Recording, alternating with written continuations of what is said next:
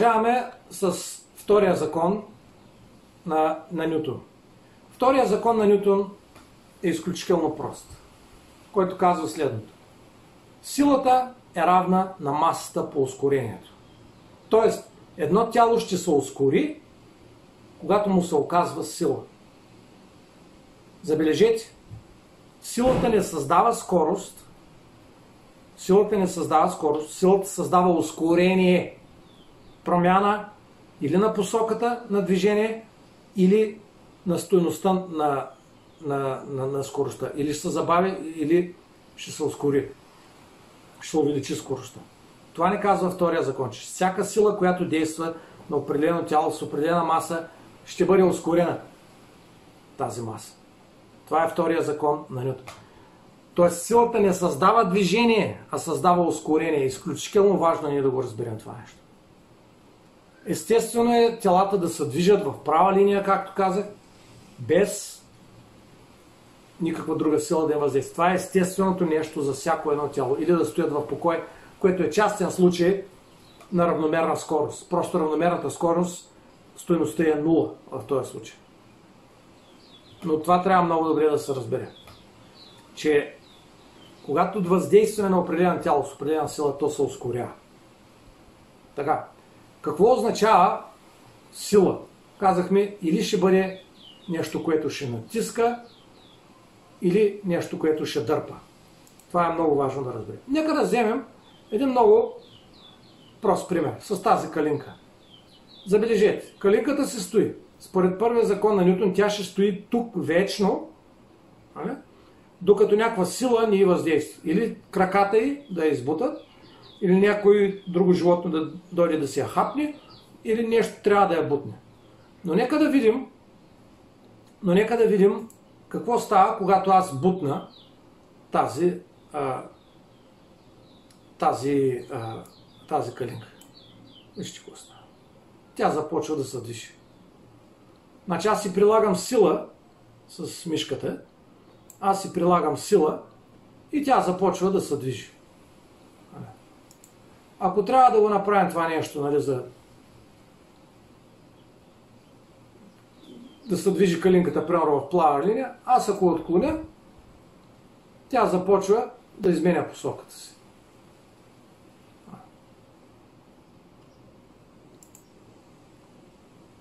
А иначе Нютон казва, че тя ще се движи по права линия, докато някаква сила ни въздейства. И аз си въздействам, вижте, и тя променя посоката си. Или я спирам, пак променя посоката си. Това е много важно ние, ние да разберем. Значи, когато и се въздейства с сила на калинката, тя започва да се ускорява, както виждате, и след това силата на триенето, която е в противоположна посока, я спира. Ако нямаше триене, т.е. сила, която да я въздейства, защото триенето е сила, която действа точно в противоположната посока, то тя, калинката ще спре. Калинката ще спре. Сега, нека да ви покажа, а, нека да ви покажа какво става, когато сложим вектора на скоростта. От началото вижте колко е голям и след това намалява и спира. Начало като е ускоря, голям вектор. И след това скоростта намалява и спира. Ето това е вектора на скоростта. Виждате. Продължава и спира. Сега нека да ви покажа вектора на ускорението. Ето калинката, ускоряваме. Спрях да я ускорявам, но тя продължава да се движи. Тогава обаче силата на триенето в обратната посока я спира. Забележете хубаво. Ускоряваме доста. Тя почва да се движи и обаче силата на триенето я спира. Вижте, че ние нямаме нужда от сила, за да, за да се движи калинката. Като вижте, прилагам сила я пуснах. Вижте, вече няма ускорение. Ускорението започва тук и изяжда скоростта. И калинката, калинката спря.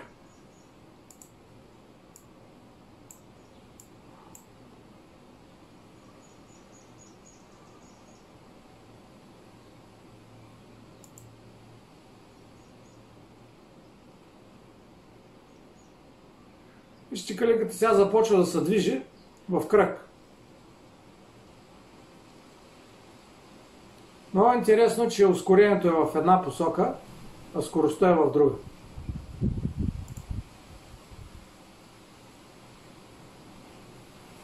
И тя ще продължи да се движи в права линия, докато нещо не я спре. Това е много важно да, да бъде разбрано. Нека да видим и този пример сега. Ето тук има едно човече. Той е бута, той е съндък. Бута го отясно, бута го може. Не може. Какво става се тук? Я да видим. А, започва да го бута с по-голяма сила. И когато спре, камерата се центрира не върху човечето, а върху това. Виждате, че то започва да се движи и спира. Започва да... А, съндъка започва да се движи и спира. Бутаме го от другата страна, съндъка започва да се движи и спира. Така. Какви сили действат и защо спира съндъка? Сега, имаме сила на въздействието и имаме сила на триенето. Виждате, силата на триенето е тук, в обратна посока на силата на въздействие на движението и тя спира, понеже в тази посока тя действа. Сега нека да ви сложи един километраж, да видите и, и скоростта. Как, как това действа със скоростта. Значи, виждате, че ние трябва да преодолеем силата на триенето. Само когато е преодолееми, тогава вече този съндък може да започне с Това е защото имаме сила, която действа в това. това е силата на триенето, която е в обратна посока на, посока на движението. Сега, тук имаме и други сили, които искам също да, да ви напомня. Значи, имаме сила на гравитация. Ни казахме обаче, че когато действа сила върху определено тяло, то ще се ускори по посока на силата, която му се въздейства. Понеже силата е вектор и ускорението също е вектор. Добре, защо това тяло не пада надолу? Какво го държи? Не значи има някаква друга сила, която го държи точно в обратната посока. Тая сила се нарича нормалната сила. А тая сила се нарича силата на гравитацията.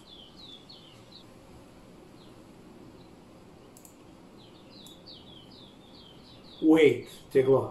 Това е нормал. нормал. И понеже тия две сили са равни, обекта не, не пада.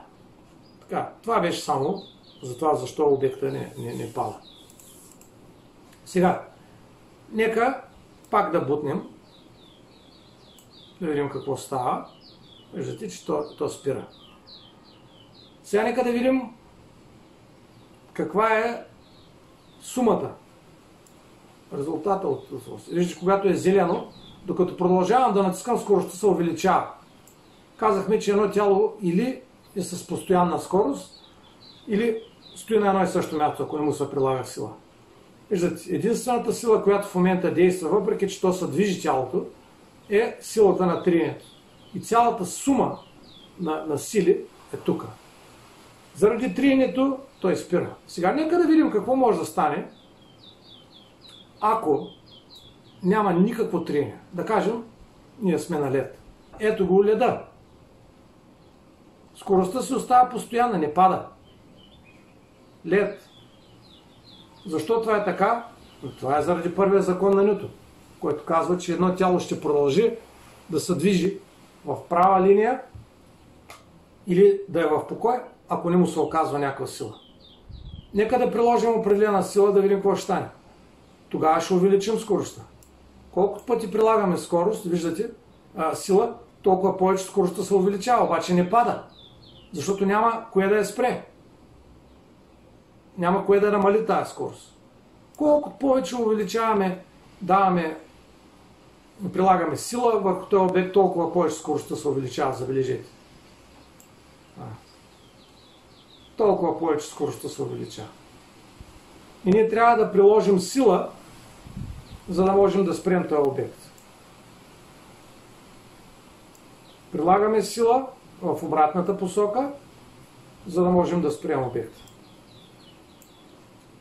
Тоест, ако същото нещо е както да приложим сила, да приложим и триене. И виждате, че за това силата на триенето спира обекта. Това е много важно да бъде разбрано.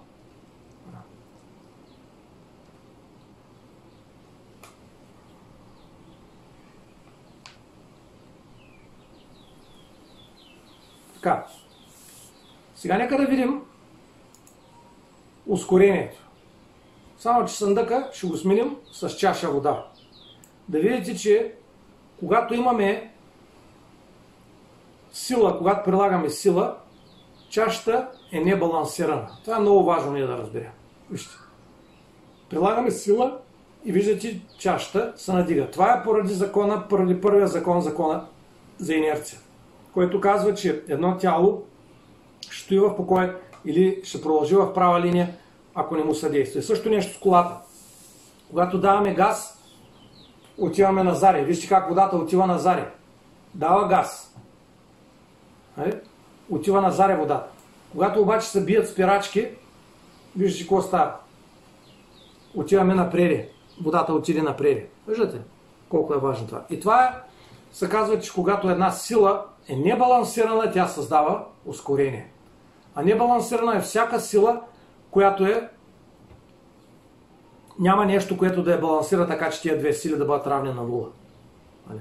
Както, примерно, както казах, силата, нормалната сила и силата на привличането на, на, на Земята, теглото а, на обекта. Ето, ще прилагам сила.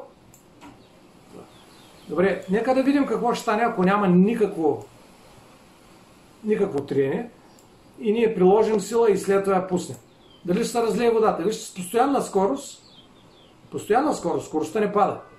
Водата се стои абсолютно водоравно. Докато не приложим сила. Виждате, прилагаме сила и когато спираме, виждате, че отиваме на отиваме напред. По този начин, ако сложим пък вече триене, нещата ще бъдат, ще бъдат променени. Това е за небалансираната сила. Сега, много е важно да се разбере, че силата е нетната сила. Тоест, ако нето на много сили е нула, няма да има никакво ускорение. И затова е много важно да разберем, че втория закон е нетната сила.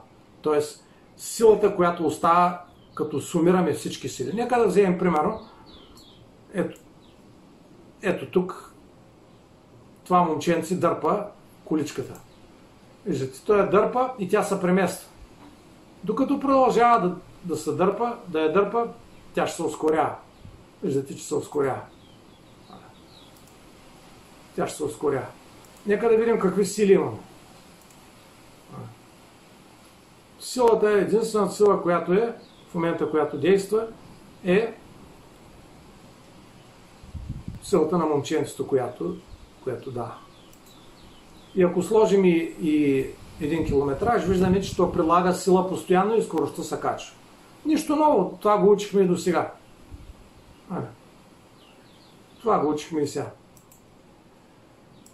Но да, да вземем да кажем, че сложим друго момченце тук, със същата сила. И двете започнат да дърпат. Едното наляво, другото надясно. Нищо не става. Абсолютно нищо не става. Колкото и да са мъчат, силите са еднакви, нищо не става. Тогава трябва да сложим друго момченце и те започват.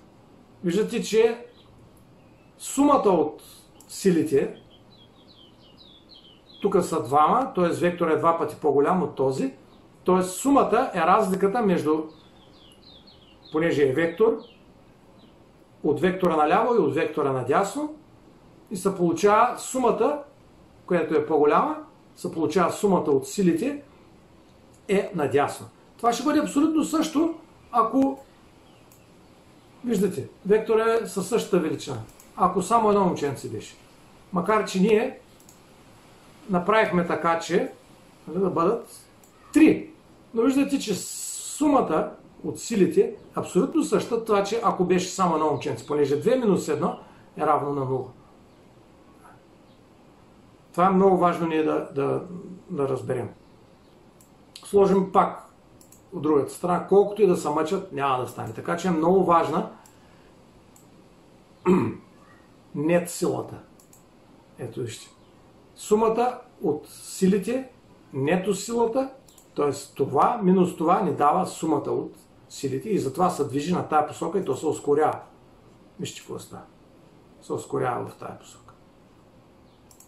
Ако сложим още по-голяма сила, виждате още по-голяма, ще се ускори тогава по-бързо. Втория закон е цялостната сума на, на, на, на силите, които въздействат върху определено тяло.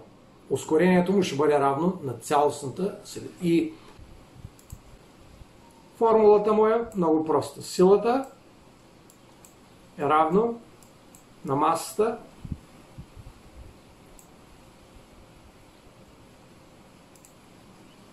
масата по ускорението. Гениална формула. Колкото е кратка, толкова е, е гениална. От тук нататък можем, ако имаме двете, да извадим третото. Ако имаме масата и силата, ние да видим колко ще бъде ускорението. Това е много важно да бъде разбрано. Силата се измерва в чест на Айзак Нютон, се измерва в нютони.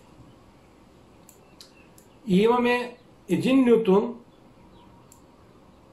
когато т.е. ако вземем 1 кг и го преместваме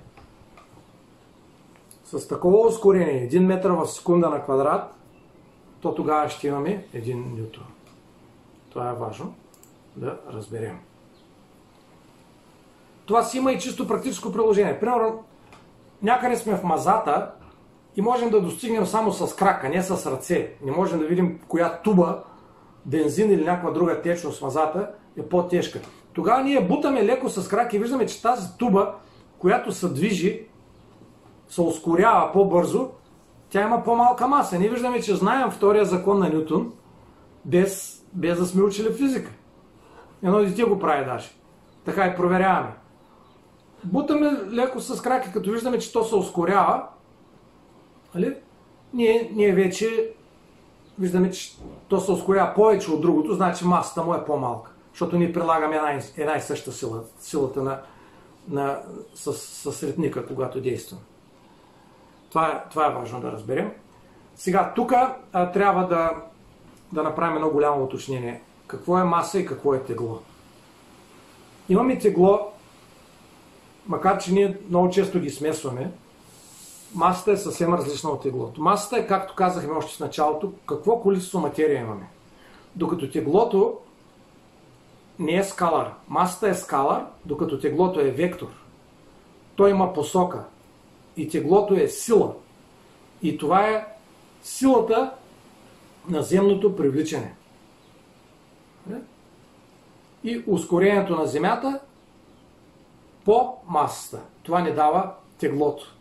Това е много голяма разлика. Това е много важно ние, ние да разберем. Тоест, ако имаме един автобус или една кола, ние да го ускорим, примерно сме закъсали някъде на пътя, ние го бутаме. Бутаме тая кола, прилагаме определена сила.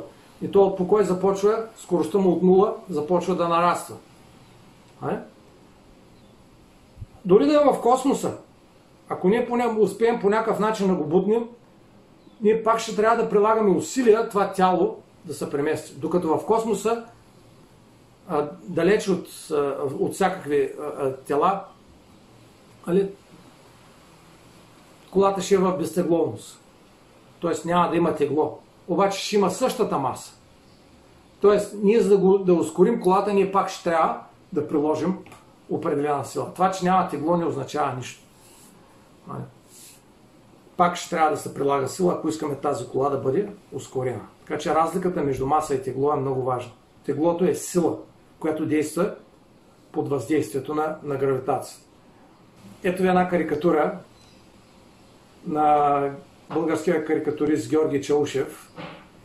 В тази карикатура виждаме Нютон, стоящ се в градината и тук е един друг е, чешит и падат ябълки.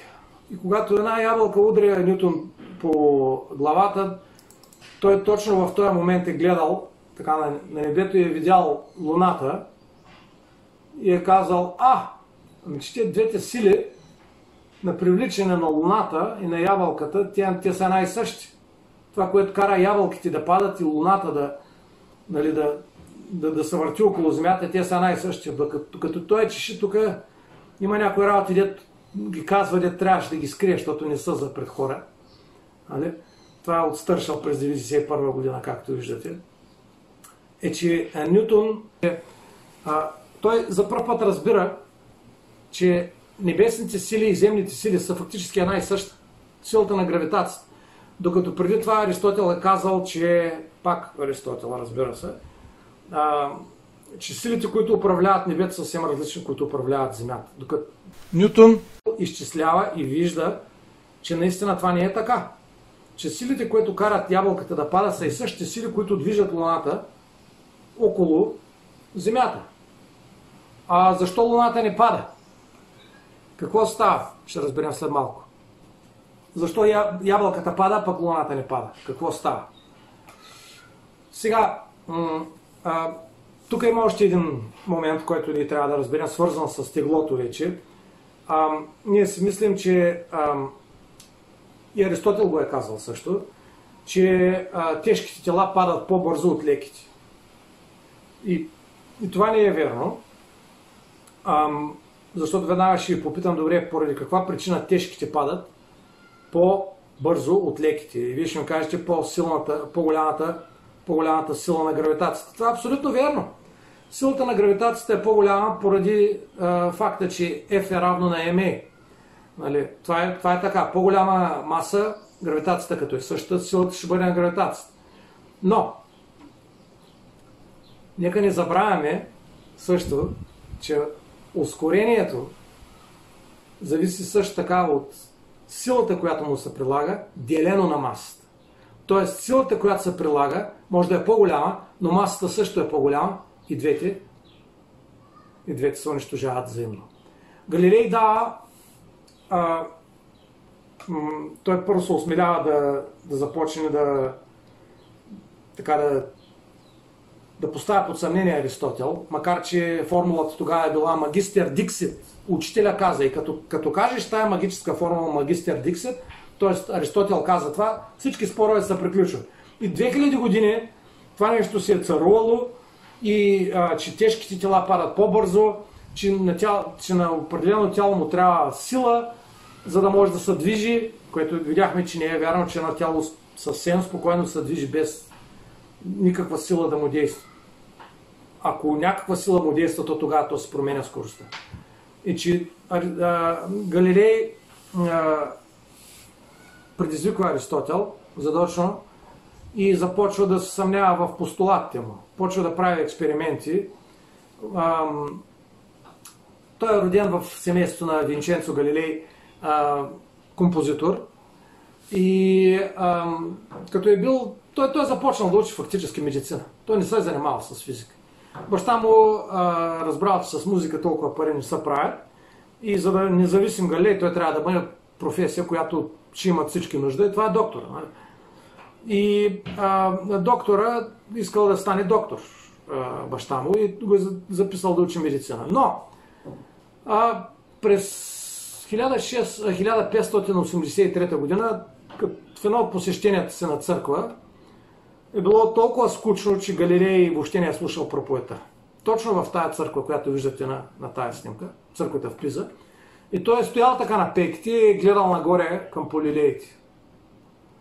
И както е гледал нагоре към полилеите, изведнъж е видял нещо много интересно. Че полилеите се клатят Нали, имало и вятър. Нали? Въртики са били отворени и вятъра е клатил тия полюлеи. Той е забелязал, че полюлеите, които са с по-голяма дължина на махалото, се клатят по-бавно. Докато тези с по-малка дължина на махалото се клатят по-бързо. Също така той е забелязал, че тия полюлеи, които имат еднаква дължина на махалото, еднаква дължина на, на, на веригата, която ги свързва към тавана, но различно тегло, т.е. те имат по-голямо тегло, едните, другите по-малко, се движат с една и съща скорост. Също нещо, което е забелязал, че дори скоростта да намалява, времето от единия край до другия се запазва. Веднага отива в къщи и понеже е нямал хронометри, както ние имаме, с пулса си започва да прави експерименти. И тогава започва да предизвиква и Аристотел на постулата за това, че тежките тела падат по-бързо от леките. Той прави първо логически експеримент. Вижте, вижте тези топки, които искам да ви покажа. Той прави първо съвсем логически експеримент, след това прави практически експеримент. Нека да кажем, че имаме една голяма и една малка топка. Пускаме голямата топка. Тази топка я пускаме. И тя пада. С определена скорост. След това привързваме определена топка, по-малка от нея, към тази голяма топка. Тъй като увеличихме теглото на топките, казваме, че по-тежките топки ще падат по-бързо. Следователно, тези две топки нали, са по-тежки от тази и те ще падат по-бързо. Нали, така трябва да. Обаче, също така, Аристотел казва, че леките тела падат по-бавно от тежките. И Галилей казва така. Ами, като привържим леката топка към по-тежката, леката ще пада по-бавно и тя ще дърпа тежката нагоре. Забележете. Значи, леката топка ние казваме, че ще пада по-бавно от тежката. Нали така? Тежката пада по-бързо. Ами значи разликата между тези две сили, какво ще стане, понеже това пада по-бавно, а това пада по-бързо, цялата система ще пада, ще получи една сила нагоре. Тоест тя ще пада по-бавно, отколкото ако е само тежката топка. Но пък това противоречи логически на постулата, че тежките, топ, тежките тела падат по- по-бързо от леките. Е, на кое да вярваме? Абсолютно логическо противоречие, без да сме пробвали даже. А това нещо. Остава.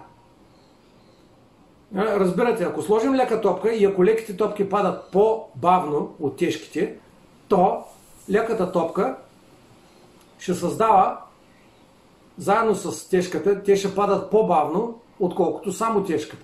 То е все едно, както да отидеш на шопинг с децата. Ти колкото и да искаш да вървиш бързо, тя те спира. И затова движението ти е по-бавно. Същото нещо. Обаче виждаме, че това не е така. И Галилей започва да прави експерименти на наклонена плоскост с звънчета. И когато пуска една топка лека и след това пуска тежка, след това пуска още по-тежка и той вижда, че фактически няма никаква разлика между това топките дали са леки или дали са тежки. Ускорението е едно и също. А след като ускорението е едно и също, то те ще паднат те ще паднат с еднаква, с еднаква скорост. А след като ще паднат с еднаква скорост, виждате по формулите, които имаме, то и, и двете ще изминат същото разстояние за същото време. И за това и двете ще паднат на, по, едно и също, по едно и също време. И това е това е важно да разберем. Нека да видим също този филм, който а, гледахме с, с а, перцето. Още самото начало, там го дадахме за, а, за друг пример, но сега нека пак да го видим. А, с този филм, който е с перцето и с а, с монетите, с, с металните.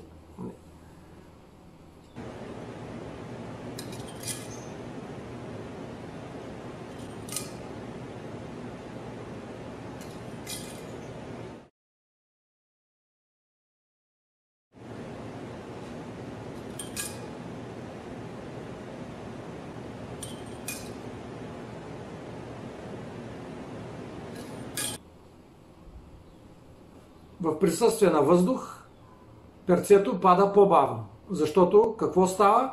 Силата на триенето на въздуха оказва съпротивление повече на перцето и перцето остава по-нагоре. Докато силата на триенето е, по- е по-малка, защото монетата е по-масивна на въздуха, оказва по-малко влияние и затова то пада по-бързо. Монетата пада по-бързо. Но ако извадим въздуха, те падат с еднаква скорост. Тогава, да ви питам, да ви дам една задача. Имаме две топки. Едната е от стереопор, а другата е от олово. Ето това да кажем, че е Земята. Коя от тези две топки нали, ще падне първата при, на, на, при, при въздействието на въздух? Нека да разгледаме този пример по-обстойно. Така. И на двете действа една и съща сила. Тя е силата на земното привличане. И двете имат тегло, затова ги привлича. И на двете действа силата на триенето на въздуха. Значи силата, силата на, на теглото казахме, че теглото е равно на масата по земното ускорение. И понеже е сила, то се измерва в нютони. А масата се измерва в килограми. В. Ето. Значи имаме, това е теглото, силата на, на земното привличане. Да ги привлича топките надолу. Нали, казахме, че ако няма въздух, ако няма съпротивление, то тогава, според втория закон на Нютон, силата е равна на масата по ускорението. Да. Ускорението ще бъде равно, т.е. трябва да видим какво е ускорението, за да видим кога ще, кога двете топки ще пристигнат на Земята. Ускорението е равно на силата делена на масата. Така.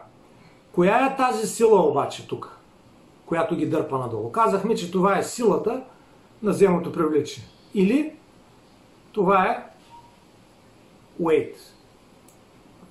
Значи можем да запишем така. Ускорението е равно на масата по G или земното ускорение делено на масата. И вижте какво става. Масата отпада и остава, че ускорението зависи единствено от земното ускорение. Тоест, двете топки ще паднат едновременно. Разбрахме сега. Сега обаче, нека да видим силата на триенето. Силата на триенето, тя е също сила и като сила ние можем да я запишем, че F е равно на MA. Така. Силата на триенето имаме две, две тела. Тя е еднаква, тя е еднаква, въздуха оказва еднакво, еднакво влияние, тя е една сила на, на, двете, на двете тела. Тоест силата е еднаква. Масата обаче е различна. Следователно, ускорението ускорението ще бъде равно на силата на триението делено на масата. Така. Силата на триенето е една и съща. И тук, и тук. Обаче, тук силата на триенето създава съвсем друго ускорение. Защото масата тук е много по-голяма, отколкото масата тук. Ако масата е по-голяма, то ускорението ще е по-малко. Ако масата е по-малка, ускорението ще е по-голямо. Нали? И затова тук ускорението е по-голямо нагоре. А тук ускорението, заради силата на триенето, е по-малко нагоре, защото масата е по-голяма, следователно ускорението ще бъде. Казахме, че нетната сила, нетната сила между тези две тела, нетната сила създава ускорението. Казахме, че тук имаме каква сила? Силата на триенето, на триенето и силата нали, на земното привличане. Силата на земното привличане и силата ще дадат нетната сила. Силата на земното привличане минус силата на триенето ще ни даде нетната сила. И понеже виждаме, че силата на триенето тук е по-малка, то тогава нетната сила и нетното ускорение ще бъде по-голямо и ако трябва да запишем тук нали, всички, всички тези неща, ние ще видим, че поради това, че силата на триенето оказва по-голямо въздействие на, на лекото тяло, понеже леко тяло има по-голямо ускорение, следователно силата на триенето ще е по-голяма, то тогава нетната сила ще е по-малка, следователно лекото тяло ще падне по-бавно. Дори да е със същия обяв. А тежкото тяло ще падне по-бързо, когато има въздух, защото имаме триене. Това е много важно ние да разберем. Нека да този път да дадем още, да усложним още повече нещата с втория закон и да видим какво ще стане, когато едно тяло пада. Обаче не само пада, надолу, ами и пада надолу, обаче ние му даваме и определена скорост. Забележете какво става сега. Когато ги пуснем тези тела, виждате, че те докосват земята по едно и също време. Но, забележете,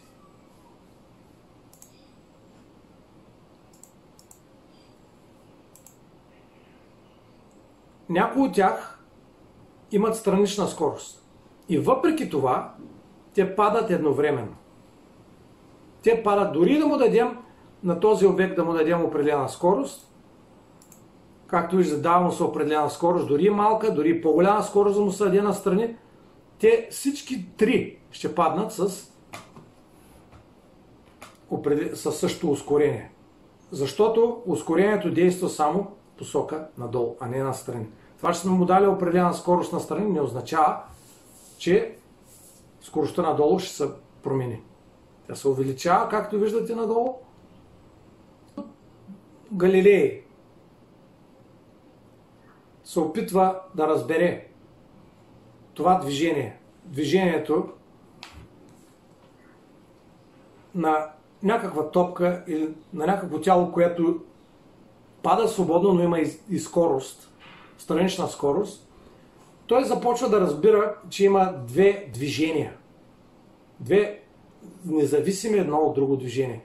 И това е скоростта, която му се предава при бутането на този прожектил нали, в една посока и това е свободното му падане надолу. Забележете. Забележете какво става. В първия момент първия момент тялото се ускорява надолу. В втория момент също постоянно се ускорява надолу. Че понеже сме му дали скорост на страни, тази скорост, казахме, че скоростта, какво означава? Означава преместването за определено време. Понеже тя е постоянна, виждате, че за равни отрязъци от време тялото изминава равни отрязъци от разстояние. Докато ускорението, понеже скоростта се мини, за един отрязък от време тялото изминава определено. Изминава определено разстояние. За втори отрязък от време, понеже тялото се е ускорило, то изминава по-голям отрязък, за три, още по-голямо и четвърто. Когато ги комбинираме тези две движения, ние получаваме параболата. Точно тази крива, където виждаме съчетанието на равномерното движение в една посока с ускорителното движение в другата посока. И а, Галилей е направил много интересен експеримент и той е забелязал следното.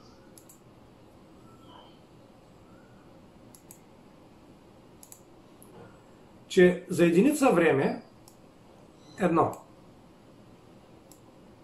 обекта пада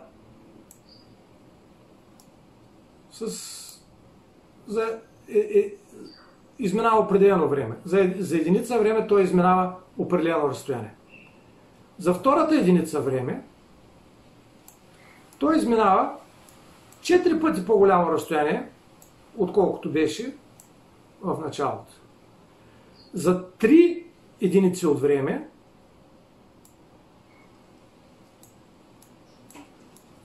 той изминава 9 пъти по-голямо разстояние, отколкото беше в началото. И за 4 единици от време той изминава 16 пъти по-голямо разстояние, отколкото в това. Интересно, вижте как времето времето се изменя с поредните числа 1, 2, 3, 4. Докато разликата на разстоянието се изменя с нечетните числа. 4 минус 1 е 3, 9 минус 4 е 5, 16 минус 9 е 7, а самото разстояние е квадрата на времето. Точно тази формула, която и аз, и аз ви дадах. Затова я казвам изключително важно кинематичните формули ние да ги запомним. Ето вижте. Разстоянието е равно на половината от ускорението по времето на квадрат. Така че разстоянието, като времето се измени с 2 секунди, разстоянието е изминато с 4 секунди. Това е много важно да, да бъде разбрано. 2 секунди от времето стават 4. 3 секунди стават 9. 4 секунди стават 16, понеже на квадрат. Така. Да го видите още един път. Докато скоростта е равномерна, за определено време се изминава определено разстояние. Това е, това е също важно да, да бъде разбрано. Ето това е, това е големия принос на, на Галилей. Сега, тогава да ви дам една задача и да се опитаме да я решим, да я решим заедно. Така. Нека да си представим следния експеримент. Имаме линия. Това е, земята. земята. Имаме едно човече.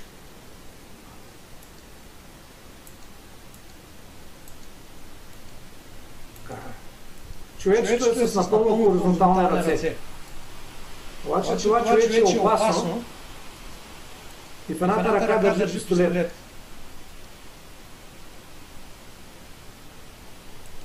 А в другата страна ръка държи един куршум, който същото е пистолет, че е Абсолютно водоравно движение си държа ръцете. Да кажем, че той пусне куршумчето в същия момент, в който изстреля пистолет. Искам да питам, след като вече учихме за всичко това. Кой от двете първи ще докосне земята? Дали куршума изстрелян от пистолета или куршума, който е пуснат от ръката? Същия куршум. Едното го пуска, а другото Забележете, едното е изстрелно, т.е. има определено движение надясно, а другото просто пада директно надолу. Повечето хора веднага казват, да, той е куршум по-бързо ще стигне, защото има това определено движение. Но обаче забравят, че единствената сила, която действа в момента е силата на теглото на куршум. Тая е единствената сила. Тя е масата по, по. И при този и този случай има една и съща сила. Това, че имаме такава сила, в момента, в който напусне пистолета, никаква сила от пистолета няма да и действа и това ще, ще, ще, ще, ще действа вече, ще се движи в тази посока в, с равномерно движение. Докато другото движение земята ще продължи да го дърпа. И в резултат ще се получи такова нещо, ще се получи пак парабола. То няма да падне на, на една ръка разстояние. от, от човече. То ще падне може би на 200-300 метра. Но ще падне със същото време, защото единствената сила, която му действа е силата на, на теглото. Това е много важно да го разберем. И то точно, то точно този пример не се дава. Дава ни са точно този пример. Значи, като изстреляме пистолета, а другото го пуснем едновременно и двете едновременно ще паднат на земята. А, искам първо да ви дам един пример с асансьор. Сега, интересното в асансьора е, че а, всички сме пътували с асансьор, всички знаем какво е и, и всички имаме едно и също усещане. Като тръгва асансьора нагоре, сякаш ставаме по-тежки и като вече ще стигнем вече най-горе до етажа, където трябва да сме, там сякаш пък се чувстваме по-леки. Обратното, ако слизаме от височина до партера, отначало се чувстваме по-леки, след това сякаш теглото се нормализира и след това, точно преди да спре асансьора, ние се чувстваме по-тежки. Защо, защо, това нещо е, защо това нещо става така? Нека да видим защо наистина е така. Ето ви тук да кажем един асансьор. И едно човече вътре в асансьора. Нарисуваме. Така. И да кажем, че асансьора отива нагоре.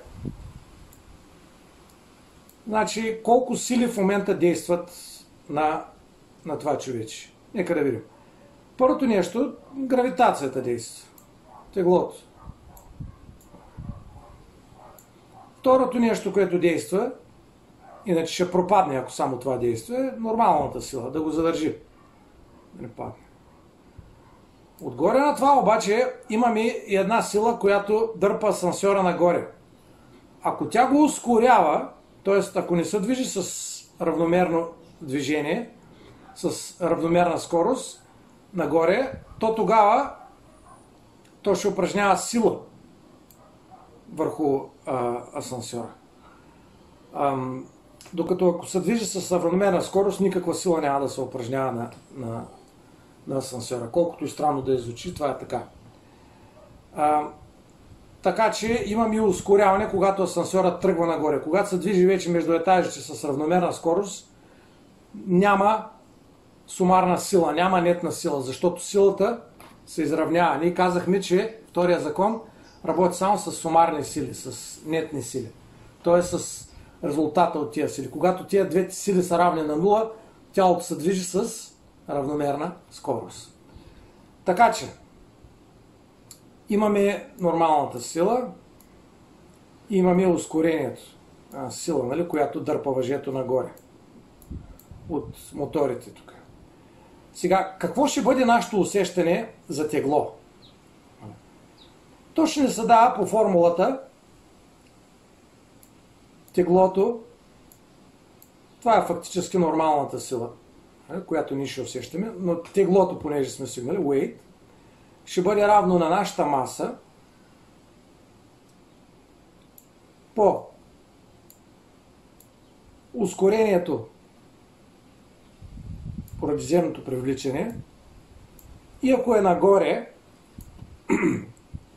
както е това ускорение, ускорението, което е заради тази сила. Заради тази сила. Тази сила, знаете, както всяка сила, е равна на масата по ускорението. Така че, какво става, когато имаме още една сила, дърпа нагоре, вече нашата тежест няма само да бъде нормалната ни тежест, т.е. масата по гравитацията, но ще бъде плюс тази допълнителна сила, която създава допълнително ускорение. Тоест, ние ще бъдем по-тежки. Да кажем, ние тежим 80 кг. Това е пример. Тежим 80 кг. Ускорението, знаем, поради земното привлечение 9,8. 9,81. За удобство в момента го пишем 9,8. Плюс да кажем, че имаме 4 метра ускорение. Това А, това ускорение, acceleration, нали? заради тази сила, която дърпа нагоре е 4 метра. То тогава какво става? Нютона 1104. Докато ако се движим с равно ускорително движение, т.е. тук нямаме ускорение, то тогава ще имаме само силата на земното привличане 9,8 плюс 0. То тогава това ще бъде нашето нормално тегло. Това е Нютона и това е Нютона. Сега ние се движим с, равно, с а, равномерна скорост нагоре вече между етажите и вече стигаме до етажа, който не сме натиснали копчето. Вече стигаме до този етаж. Вече тези сили ги имаме, казаха. Тези двете сили. Силата на тежестта и нормалната сила. А? Сега обаче силата вече не е нагоре, защото иначе щяхме да се ускоряваме. Силата, този път на асансьора действат спирачките му и те действат надолу. Тоест, ние трябва да извадим от тази формула. Да кажем, че А е равно на 4 също. 80 по 9,8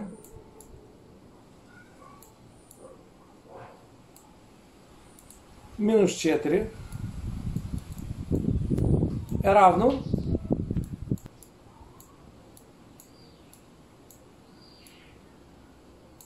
така. Това става, когато са свър, тогава се чувстваме по-леки. Когато тръгваме надолу, става точно обратното. Когато тръгваме надолу, ние се ускоряваме надолу, да кажем пак с 4 метра в секунда, тогава се чувстваме по-леки. Когато ще спираме от слизането надолу, тогава спирачките действат в противоположна на движението ни посока, за да затормозят скоростта. Тогава четворката на, на ускорението 4 метра в секунда на квадрат се прибавя към гравитация, затова се чувстваме по-тежки. Затова се чувстваме и по-тежки. Добре, е да се зададем въпроса. Какво ще стане, ако ние на нас не се прилага сила в асансьора със същото ускорение, с която е на гравитацията. Ми да проверим. Да видим какво ще стане. Да видим колко ще ни е теглото. 80 кг. Това е нашата маса. Тя е винаги 80 кг. В космос с тегло, без тегло, това е 80 кг винаги. Теглото ни са мини. Ако има акселерация ако има ускорение и ако има различна гравитация. Тоест, ако жето е различно. Но да кажем, че падаме със същата скорост, нали? Да кажем, че ние се ускоряваме с същата скорост в асансьора, нещо на ускорява, с която и земното привличане не, не действа. Минус 9,8. Да видим какво ще стане. 80 по. Казахме, че жето е 9,8. По 9,8 минус 9,8 Едно число извадено от себе си е винаги 0, така че 80 по 0 е равно на 0 по 0 е равно на 0. Следователно, ако ние падаме с същото ускорение, с което е иземното ускорение, ние няма да чувстваме никаква тежест, т.е. ние ще бъдем в безтегловност. Ето защо и космонавтите се чувстват в безтегловност. Ето защо и това е. Защото те падат към Земята със същата със същото ускорение, с което е и земното привличане. А защо тогава ни падат на Земята? Това ще разберем съвсем скоро. Просто внимавайте. Сега, вижте тази апликация. Точно на, за този асансьор, за който говорих. Тръгваме от начало и виждате, че се качи на 1104. Сега изведнъж сме с равномерна скорост. Пак сме на 784. И той каза, чувствам се добре. Вече ще спира. Тогава изваждаме, се получава малко. Сега, ако ще слизаме надолу, вижте какво става. Слизаме надолу, първо, той се чувства по-лек, защото теглото му става по-малко. След това с равномерната скорост отново също теглото. Когато ще спира обаче, силата на затормозяване на движението вече е по-голяма, той се чувства повече. Той се чувства с по-голямо тегло. Ние можем да, да се зададем въпроса, добре, космонавтите как се мерят теглото, като са в безтегло? Стоят на Международната космическа станция с месец. Как се измерва теглото? Ами вие ми кажете съгласно втория закон на Нютон, че втория закон беше, че силата е равна на масата по ускорението. Така че, ако искаме да намерим масата, какво ще направим? Ще разделим силата на ускорението. Ако искаме да разберем с каква маса сме, дали сме загубили маса, дали сме качили маса в космоса, прилагаме определена сила, виждаме с колко се ускоряваме и така разбираме теглото. Ето как космонавтите разбират теглото си в космоса. Много лесен е, много лесен метод. Така. А, какво е ускорението обаче? Казахме, че е също и промяна на посоката. Добре, а как може промяната на посоката да бъде също ускорение? Как може това да е така? Добре, искам вие да забележите тази апликация.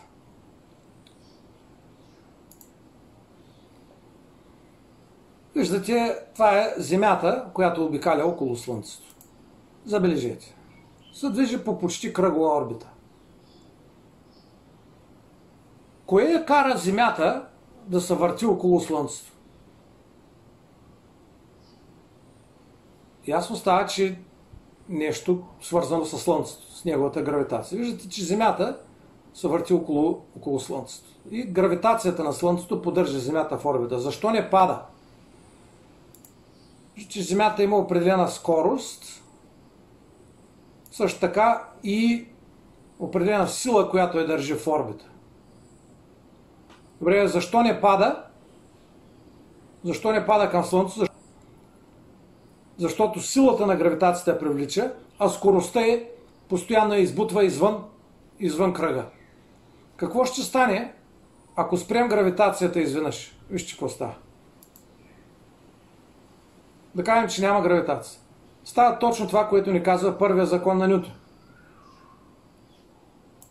Че Земята ще продължи, едно тяло, когато не му действа никаква сила, то продължава в права линия. Тук имаме, значи, точно потвърждение на първия закон. И виждате как и втория закон потвърждава.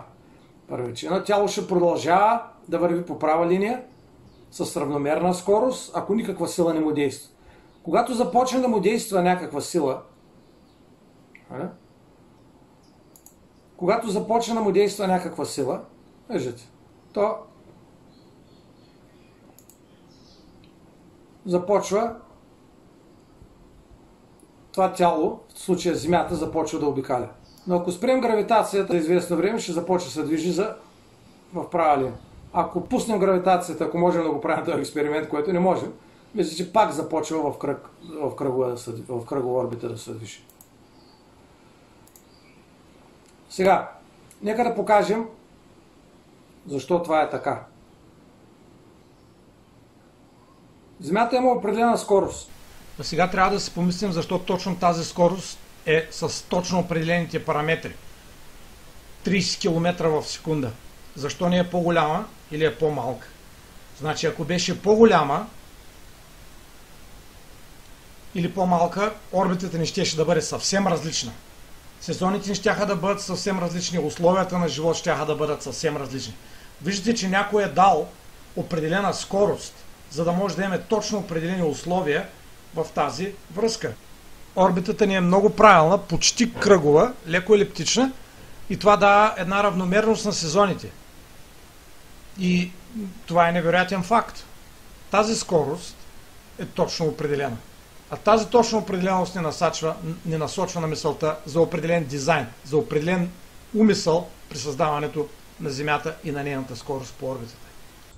Казахме, че тази скорост по никакъв начин няма да се промени, освен ако ни действа някаква сила. Тогава ние придаваме силата на гравитацията и тогава скоростта се променя.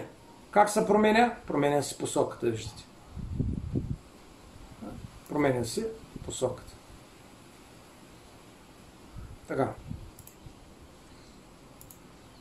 Добре, вече след като знаем какво е ускорение, искам да ви питам. Вижте тази снимка. Тази снимка е сина ми на, на две години. Много обича да кара колата, както всяко момче. И той кара колата. Сега, искам да ви питам сега тук. Колко уреда на колата могат да я ускорят? Вие ми кажете. Колко уреда на колата могат да ускорят? Служете на пауза, помислете и ми кажете. Познахте ли? Добре. Педала на гъста определено ще увеличи скоростта на колата. По този начин създава ускорение. След това спирачката определено ще ускори колата, защото ще намали скоростта, а всяко, всяка промяна на скоростта е ускорение. Тоест спирачката ще приложи сила обратна на движението и колата ще се ускори в обратна на движението посока, т.е. ще спре. Обаче, много хора не знаят, че има и още един уред за ускоряване на колата. И това е което държи сена ми в момента. Кормилото. С кормилото ние променяме посока. Добре, откъде се взема тази сила? Ние казахме, че има сила. Ари, а, нали, ако натискаме педала на гъста, силата идва от двигателя, от изгарянето на газовете. От спирачката силата идва от триенето, тя забавя, силата на триенето е обратна на движението. Ами, кормилото откъде идва силата? силата идва от земята. Защото когато завиваме с кормилото, гумите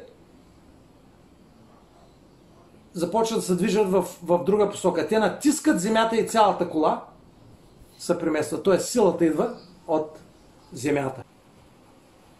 Предлагам да продължим следващия път.